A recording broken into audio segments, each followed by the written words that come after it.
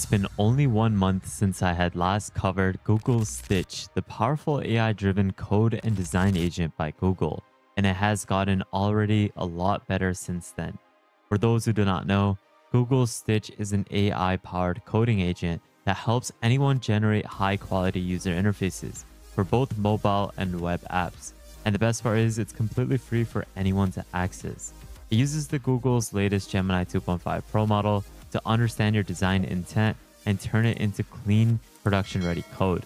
You can upload images, wireframes, Figma designs, and even other file types, and the AI will instantly generate beautiful responsive UIs for you in just seconds.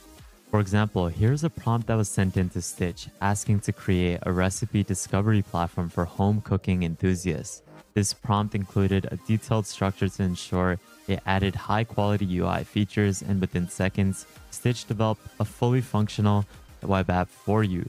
That is something that doesn't look like AI slop.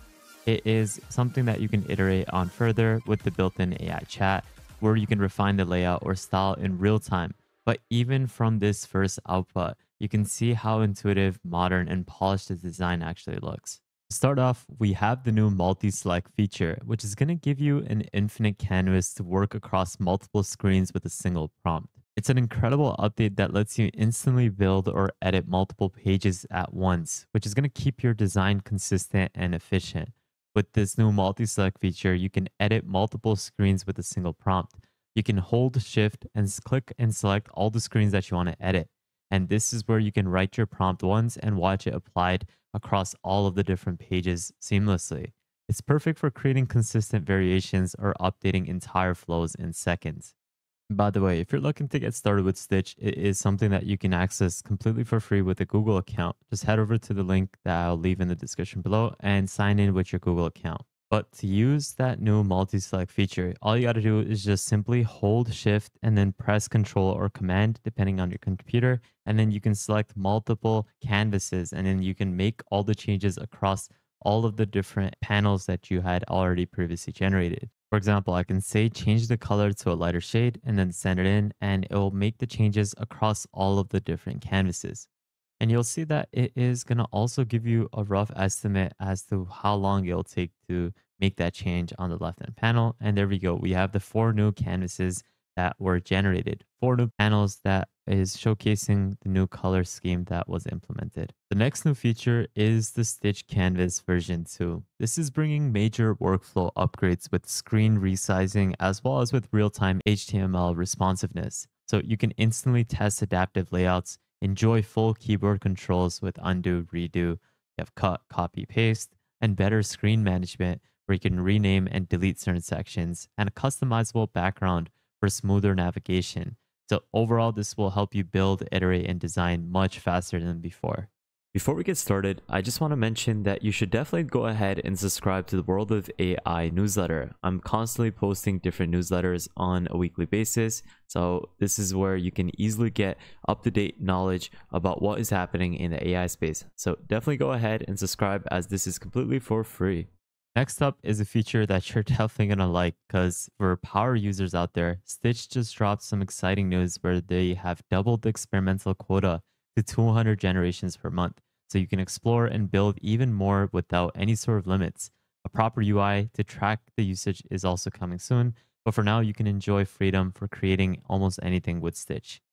Next is where Stitch rolled out with three awesome new features that makes designing even more smoother. You have variants, which is where you can instantly generate design variations at any screen in one click. You have custom prompts also coming soon, so this will help you build different sorts of variations within the canvas. You also have an organizer where you can automatically tidy up your messy canvases in seconds, and you can even share your canvas with teammates or friends with a simple link. This is part of my favorite feature, but this is something that correlates to the theming, which is now available within the canvas. Can switch between dark mode, different color palettes, fonts, and even corner styles in seconds, rather than telling the AI to switch it. You can just manually do it yourself, and it's all powered by the new experimental Gemini 2.5 Pro mode. You can apply dark mode in one screen and then an entire flow with the shift plus click command. You can also copy and paste to compare multiple theme versions side by side. and you can instantly test new brand new styles without redesigning from scratch. Overall, this makes exploring design styles faster and more creative than ever. But what's even incredible is the fact that now you can make your Stitch designs come to life with the Google AI Studio. From one free tool from Google all the way to the other free tool that they have, which is the Google AI Studio. And essentially, what you can do is go from a design to a fully functional app in under 60 seconds. The Stitch is the front end designing tool, and the AI Studio has the app builder, which can implement other sorts of tools and integrations that makes your app functional. So if you provided the UI designing that was developed by Stitch, you can then have it created with the app builder itself, where you can design your screens in Stitch, export the HTML, and then use the AI Studio to convert it into a fully functional working app. And the best part is, this is just a manual workflow. A one click integration is also coming soon. So think of this as kind of like a warm up, which is something that they state already talked about this slightly, but public sharing is also live within Stitch. Now you can share read only links to any project and anyone can actually view it instantly. So no login is required. And it's perfect for showing your work, gathering more feedback from your team, or just simply moving faster with the whole design process. In the beginning, it sets a stage for even more powerful collaboration, which is including a remix feature, which will be coming soon. Next is where you can instantly and professionally get a product shot for your screen, where you can now have it so that if you click the Command plus C or the Control plus C command, paste the image into Gemini Banana, prompt up something like put this screen on a phone held by a person, and just like that, you'll get a polished product shot, which is actually pretty cool because this is something that works with Google Slides, Team Chats, and anywhere else. Your workflow just got a lot faster and smoother when it comes to UI and UX designing, as well as with product implementation for your overall website or UI. Pretty big new update, and this is where Stitch has gotten a huge backend update with their design agent, as it has been upgraded greatly. This is where it's now powered by the Gemini 2.5 Pro and fully optimized for it. The results are truly insane because there's more creative layouts, richer colors, sharper copies, and improved font and photo pairings. In testing, users overall were able to prefer the new results. And you can see with this video, there's a side-by-side -side comparison which showcases the old designs on the left and the new ones on the right-hand side. I don't know too much about this, but there might be a chance that you will be able to use Stitch and Jules asynchronously, meaning that you can use it within each of the different apps and you can simply have it so that once you have generated the UI, you can just have Jules work on generating the application, the backend for it. And that is something that may be coming in the near future. Also, it's just wild to think that when we do get the release of the Gemini 3.0 model, it's going to be insane to use it with Stitch because you're just going to be able to have it so that you can generate beautiful looking UIs without any sort of front end dev. This is going to be incredible for anyone because you can just simply have that job replaced in seconds with this new tool. Lastly, we have prompted variants. This is where you have more creativity that is going to amplify more generations within Stitch's canvas. So what you can now do is you can guide your design variants with the prompt.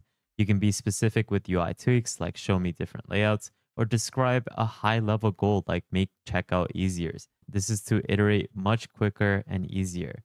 And if you were to prefer any sort of full surprise, you can leave the prompt blank and let Stitch completely redesign the screen for you.